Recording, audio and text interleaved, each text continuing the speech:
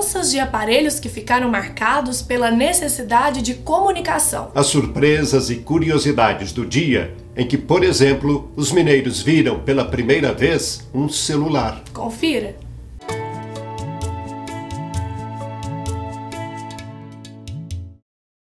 Os telefones de primeiro, os telefones eram de manivela, ele não tinha tecla. Então era muito caro para você ter um telefone. Primeiro na zona rural era assim, você dava uma manivelada, caía na casa de um. Você dava a volta, caía na casa de outro.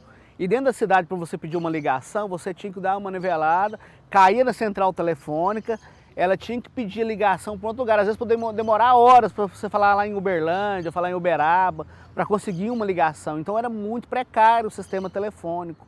Era muito difícil, muito caro para manter. Era só quem tinha dinheiro mesmo que tinha telefone na época. E os telefones eram grandão, o telefone era enorme. E fazia aquele barulhão, a campainha que ela era de fora. A campainha ficava lá de fora. Então fazia um barulho danado. Meu avô tinha na casa dele um telefone preto, colocado na parede, que você discava os números na manivelinha e pegava o outro que tinha, é tipo um copo de, de dose, mas só que, porém, assim, sabe? Comum. E aqui um fio. Aí você punha aqui e falava assim depois que discava, tudo e tal. Mas antes não, era mais orelhão mesmo. Então quase não tinha acesso ao telefone, vinha na casa dos outros. Até assustava que escutava o telefone, né? Porque a gente não sabia o que que era. Quando o telefone tocou, minha filha estava na área, mas eu dei uma carreira, então eu caí por cima das cadeiras, fui derrubando meio mundo. E peguei o telefone. E quando eu peguei o telefone, eu soltei ele longe. Ela falou assim, então não adiantou sair da nossa frente, a senhora nem pegou o telefone, o telefone tocou, você jogou no chão. Você acredita no trem dele? Mas, a gente é bobo, né? Meu Deus do céu, que burrice, meu pai do céu. Era analógico, né? Não era sistema digital, era analógico. Você tinha um aparelho na sua casa, uma linha conectado é, num, retransmissor da, da, da, empresa lá, sabe, que te punha é, em contato com o mundo, né? A grosso modo era assim mesmo e funcionava bem mesmo, sabe? A gente tinha, ligava para Uberlândia, Uberaba, São Paulo, sabe, assim, sem problema nenhum. Naquela época, quando antes de, de, de, de sair a parte do celular, que não, não tinha. Aí era, era da empresa da, da CTBC e era só telefone fixo. Então, quando você tinha que ligar, algumas pessoas que tinha, não era assim as casas.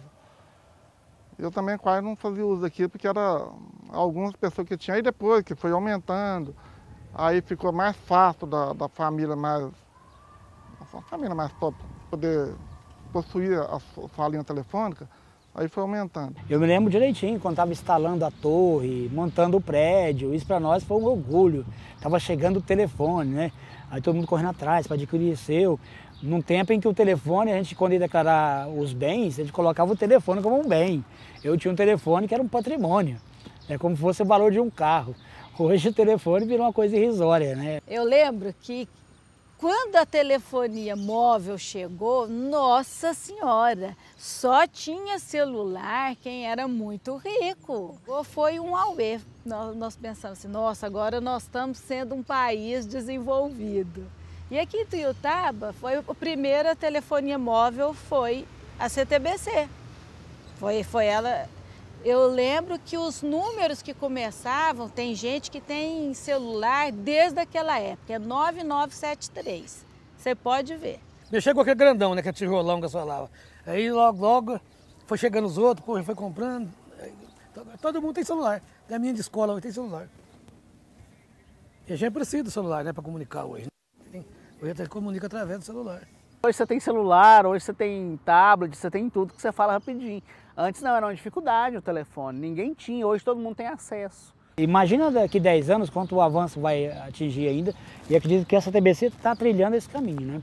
De proporcionar maior tecnologia, maior conforto e comodidade para o usuário. O mundo mudou, né? Ele está interligado. Hoje você conversa do outro lado do mundo através dos satélites ou dos cabos. É, é, é incrível as mudanças que a tecnologia proporcionou para a vida do homem.